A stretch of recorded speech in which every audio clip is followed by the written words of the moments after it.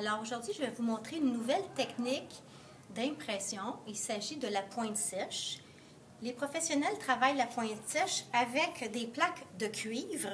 Nous, euh, en milieu scolaire, on travaille plutôt en plexiglas. Alors, j'ai des plaques de plexiglas qui euh, vont pouvoir être gravées.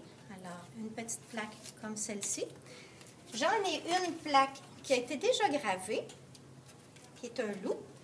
Et l'impression est ici. Alors, vous voyez que l'image est, inversée. Toutes les impressions, les images sont inversées parce que le papier embarque dessus et puis euh, c'est le contraire qui apparaît. Dans le cas de la gravure en pointe sèche, c'est le creux qui va apparaître, contrairement ici au lino où c'est le relief qui apparaît. Alors, moi, je vais faire la démonstration comment graver et imprimer en pointe sèche. Alors, premièrement, tu prends, tu prends ta tablette à dessin. Tu as fait préalablement une esquisse. Alors, je viens prendre ma plaque de plexiglas. Je peux apposer deux petits papiers de ruban à masquer en arrière pour que ça facilite le travail. Je viens déposer ma plaque sur mon dessin à l'aide de clous. La pointe est très, euh, très euh, fine. Je viens graver, je viens graver avec le clou. Ça amène beaucoup de résistance. Ce n'est pas très, très facile à faire. Vous allez vous en rendre compte. L'intérêt, c'est de graver beaucoup de motifs, beaucoup de lignes. Euh, il s'agit d'essayer des fois dans différentes directions.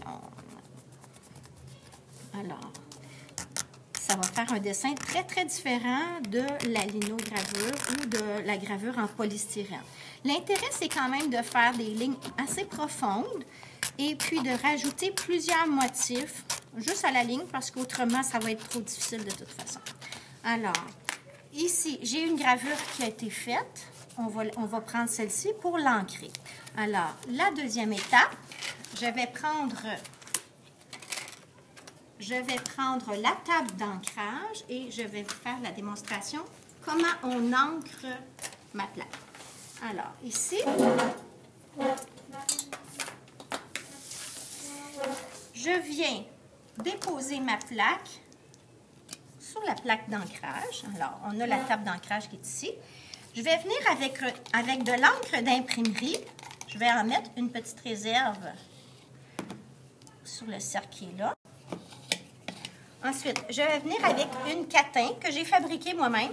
Je vais venir chercher de l'encre avec la pointe et je vais venir ancrer par petits cercles toute la surface de ma plaque. C'est important, même si le dessin est juste dans le centre, c'est important d'aller couvrir toute la surface parce que vous allez voir, ça va faire un petit film euh, grisâtre qui va faire intéressant par la suite. Alors, tu viens mettre l'encre sur... Euh, sur tes lignes, mais en allant dans le sens contraire aussi des lignes, des fois, ça va, ça va donner un effet plus intéressant. Alors là, c'est pour la partie ancrage. Ensuite, je dépose ma, ma catin. Je vais venir avec ce qu'on appelle une tarlatane. Alors, je vais venir essuyer, en faisant des petits ronds, je vais venir essuyer la surface de ma plaque. Alors, c'est important de ne pas vider dans le sens des lignes, parce que là, on n'aura plus de dessin. Alors, on vient essuyer le plus possible la surface. Là, j'ai fait un dessin qui est très simple. Et je vais terminer avec un papier journal non imprimé, juste à la surface, pour enlever le gras qui pourrait rester sur la plaque. Alors, je m'en vais comme ça. En gravure, on fait toujours bien attention d'essuyer les côtés de la plaque. Alors, je vais retirer la plaque au complet. Je vais venir essuyer les côtés avec un petit linge. Ça, c'est de la finition. Alors, je viens faire, ça. Je viens déposer ma plaque sur, sur ma feuille de repérage qui est ici.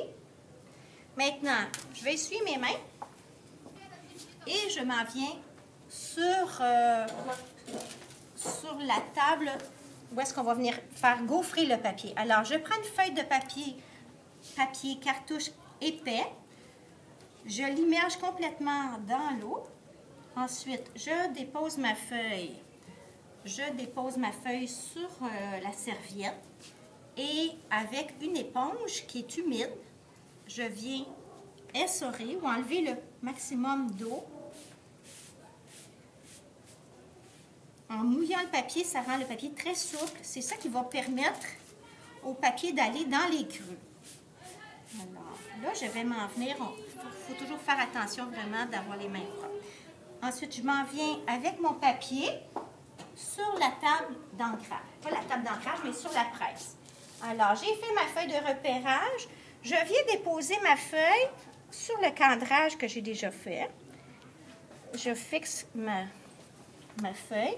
Je viens avec des langes, ce sont des feutrines.